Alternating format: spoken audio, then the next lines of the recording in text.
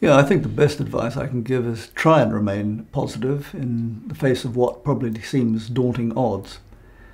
And be open to the possibility of taking a new direction and receiving appropriate training.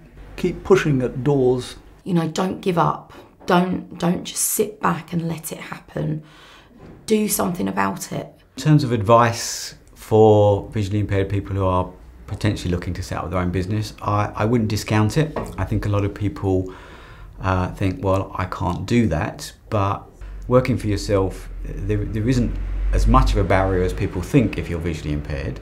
And I can think of at least 15 to 20 people that I know that are blind. Uh, and when I say blind, completely blind, some of them, and they are running their own businesses uh, very successfully. Don't be afraid to ask for help and support because that in turn can then help you become independent. Yeah, the advice I'd like to give to other blind and partially sighted job seekers is please consider the volunteering route. It is a fantastic way of getting back into the uh, world of employment and just getting yourself out there again, I guess. Thanks to Access to Work, they've made it possible for me to work and yeah, be productive and uh, fully part of the team. Also, don't think about how you used to do things, but be open to finding new ways. You might need to do it a slightly different way. It might take a bit longer, it might be a little bit frustrating, but have the patience and you will get there. Be willing to let people help you. Because I absolutely did not want to contact support sight at all. And it was the best best thing really that I agreed to.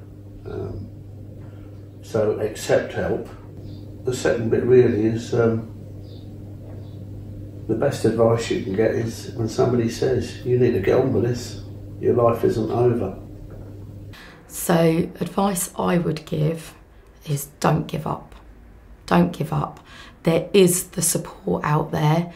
If you don't necessarily have it from family members, don't worry about that.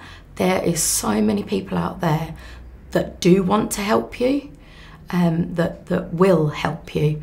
You have to ask for it though.